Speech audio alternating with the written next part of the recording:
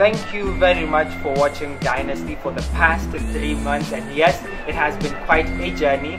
And uh, for the concluding act, we will have a feature uh, on uh, No Shave November. So we do hope that you enjoy. And if you have not subscribed to the channel, make sure that you click on the uh, on the subscribe button right below you and become a member of this channel. And remember to always keep it dynasty.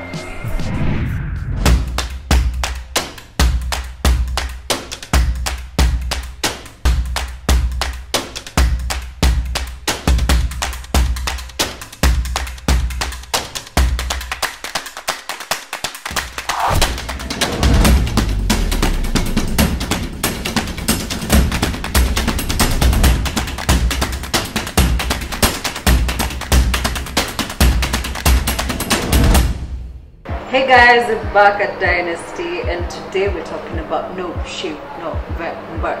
I don't have a beard, but I will grow one and then participate in No Shave November. So I have guests and his name is Shiv. I don't know if there are many shaves in Kenya, but this one participates in No Shave November. So, Shiv, Yeah. Simani. Yeah. Hi. Hi. So do you participate in November? um, I'd say I participate by the fact that I do raise awareness about the fact that we should get screened and get checked for the various, and this is mental health issues Yeah. basically. I just raise awareness about the need for the man to get um, our issues. But do I participate in terms of shaving at the beginning of the month and then not shaving at the end of the month? Not really, because I grow a beard all through the year. Are you participating in No Shave November? Um, I'm not doing shave at the end of the month, but I have just been raising awareness through my social media. Um, I'm in partnership with Mandevo, and they are really big on men's issues and men's health.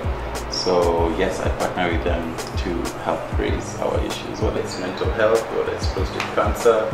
Uh, yeah. Do you think No Shave November is given much thought about, like, we have breast cancer awareness, we have Yeah.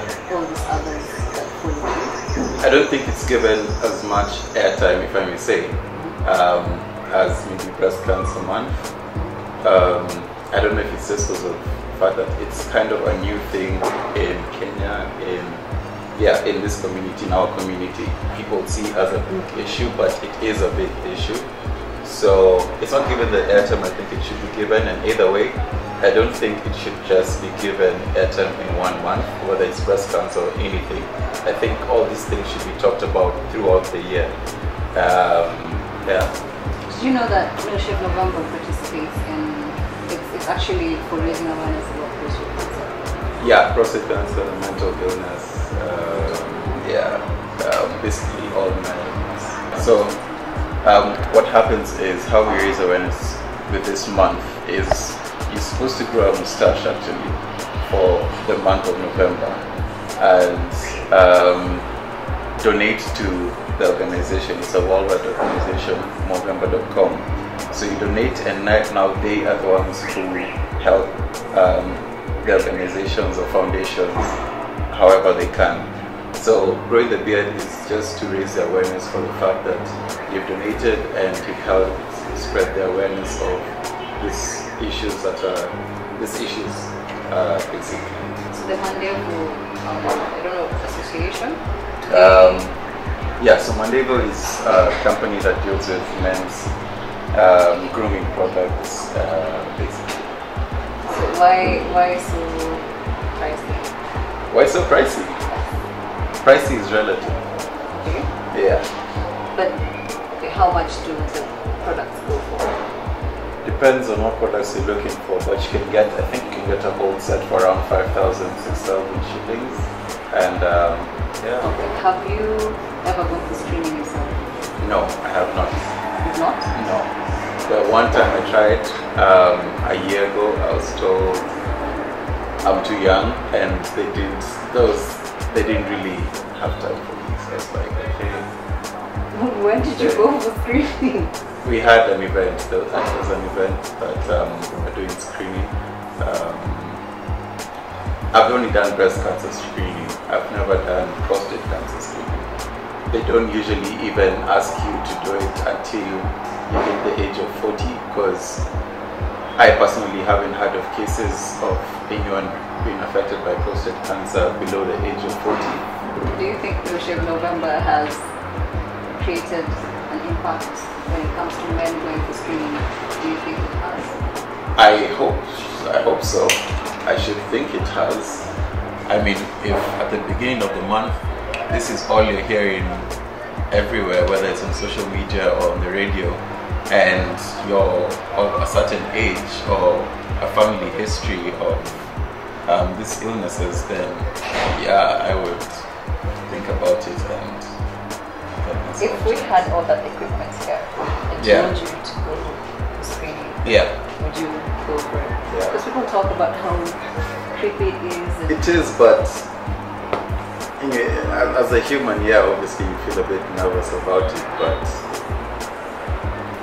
I would. I'd rather know than not know. Uh-huh. I want you to look at Brian. Yeah. Um, would you advise? Yeah. So, if you have a history of whether it's mental illness, whether it's uh, cancer in your family, um, prostate cancer, breast cancer, and you feel like, or you you know you know there's a history, or you just feel like you need to get checked, get checked. That's simple. My name is Serge. I think Michelle November is actually a very interesting thing. Yeah? I've actually done it with, with some friends of mine, you know, just as banter, yeah, to, to see who can who could grow beard more in a month. And it was it was good, pure banter, nice thing you do with the boys, just for fun. Who won? I won, man, clearly. Yes, I know about No Shave November and I love the idea behind No Shave November because I mean like it's supporting um, men with cancer. Yes, so I, lo- I love the idea behind it. How about guys with beards? hmm? oh, my name is Charity Kosasi. I'm a general practitioner at Bliss Daystar.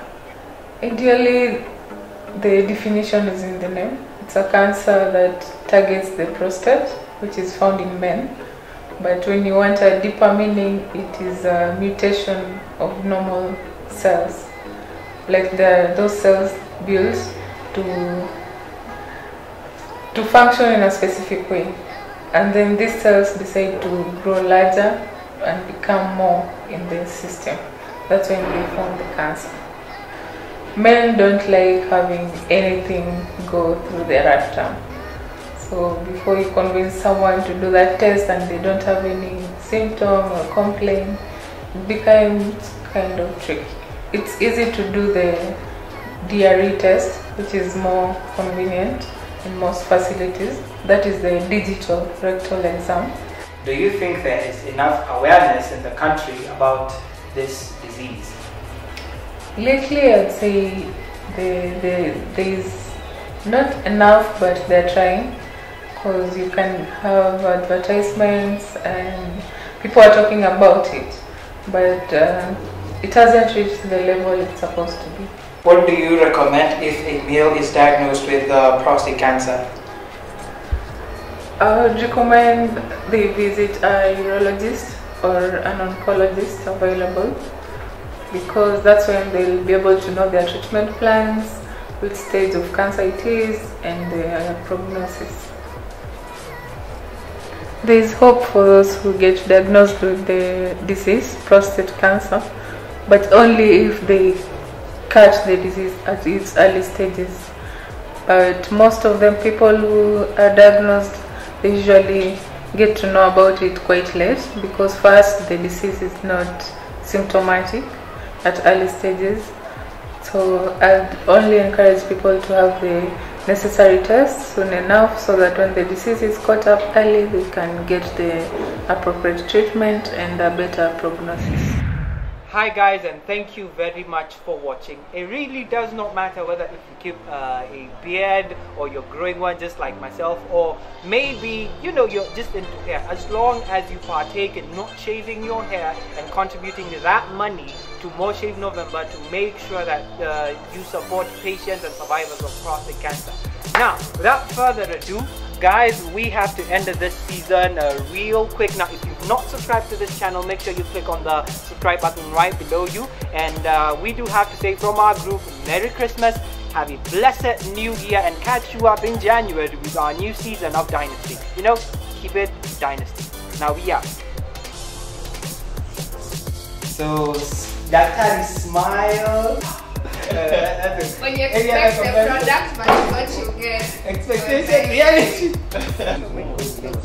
Woo! Nice, good, good.